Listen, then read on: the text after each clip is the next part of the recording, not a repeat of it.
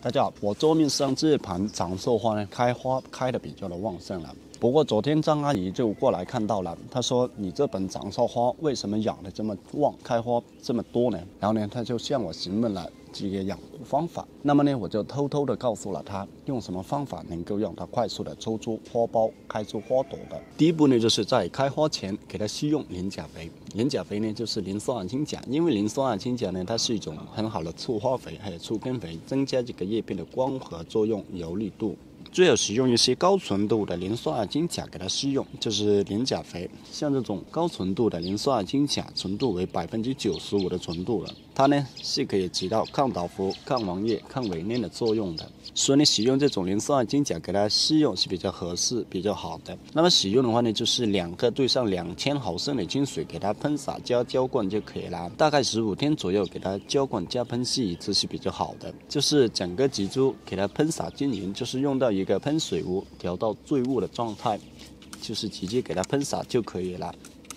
这样呢，直到它冒出花苞之后，就可以给它停止使用了。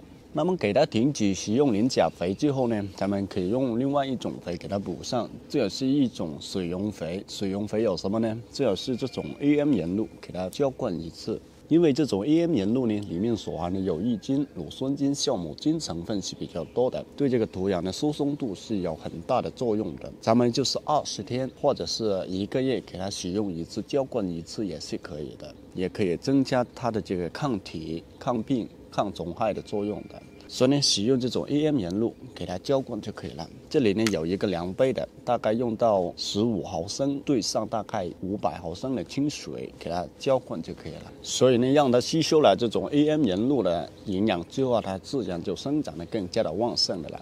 因为这种 AM 盐露里面所含的蛋白质、氨基酸、维生素等等物质成分是比较的多的，所以呢，使用给这个观花、观叶植物使用是比较好的。在这个长寿花开花之前、开花之后啊，这样简单的喂肥就可以了啊，这样就很好的让它花芽分化、开出、抽出花苞、花朵了啊。好了，这期节目就跟大家分享到这里了，好，下期再见。